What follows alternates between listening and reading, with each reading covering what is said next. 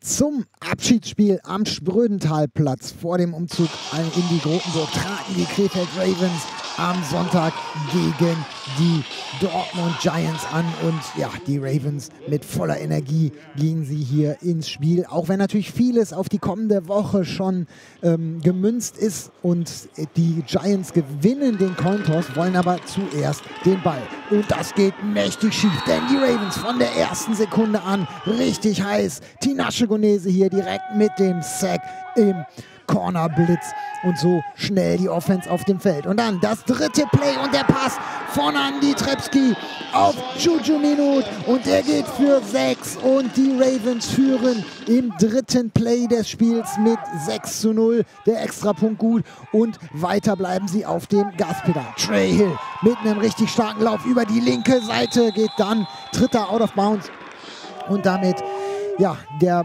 ähm, Drive zunächst mal kurz unterbrochen, aber dann ein, eine Interception hier von Andy Trepski. Der Ball abgefangen durch Marvin Henkel von den Giants. Die wollen dann natürlich daraus Kapital schlagen. Aber so sah das aus. Tatsächlich immer wieder die Ravens mit Tackles im Backfield, gerade gegen den Lauf. Überragend. Und selbst der Lauf. Hier sehen wir Trey Hill, eigentlich schon getackelt, reißt sich los und geht dann ja, im Kanter Stil da über die Linie, muss gar nicht auslaufen, sondern joggt einfach in die Endzone, nachdem er vorher zwei Tackle überragend gebrochen hat.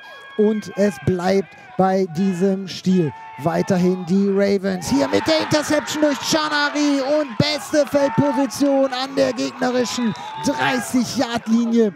Das war eine Position, in der sie häufig mehr oder weniger in Ballbesitz kam. Und dann Play-Action hier und wieder Juju Minut. Eigentlich getackelt, reißt sich los, geht über die rechte Seite und in die Endzone. Und schon zu seinem zweiten Touchdown und dem 19 zu 0. Dennis Storm erneut sicher und damit das 20 zu 0. Einmal hatte der Hold nicht gestimmt.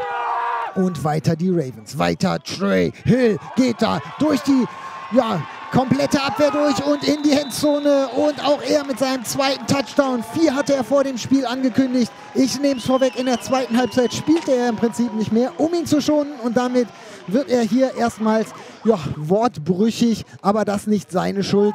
Er war, solange er gespielt hat, auf einem richtig guten Weg und dann auch Glenn Holloway der ja, alte Mann auf der Running Back Position bei den Ravens kriegt hier den Ball an der 10-Yard-Linie, nachdem er vorher einen richtig langen Lauf hatte. Und auch er geht für 6 und macht das 32 zu 0. Und die Ravens nehmen die Two-Point-Conversion und wieder Julian Minut fängt seinen dritten Endzonenbesuch. Diesmal allerdings nur für zwei Punkte. Dann in der zweiten Halbzeit plötzlich Jan Leuker auf dem Feld. Mit dem hatte hier niemand gerechnet und direkt mal ein kleiner Fumble. Da hat man gemerkt, er hat halt vier Wochen nicht trainiert.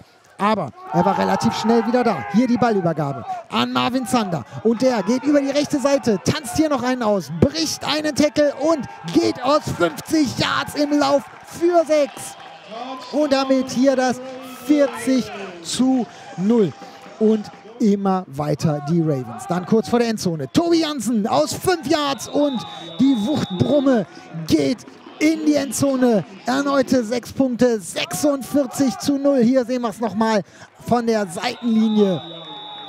Und damit ja schon ein reichlich komfortabler Vorsprung. Aber die Ravens sahen überhaupt nicht ein hier nachzulassen, sondern Jan Leuker mit dem Pass auf J.R. Leach. Und der, ja, sagte nachher, da habe ich in der Ecke meine Familie gesehen, die war zu Besuch und er geht direkt mal zu ihnen und jubelt mit seiner Mutter und klatscht auch gleich seinen Vater ab und ja, freut sich über seine Punkte.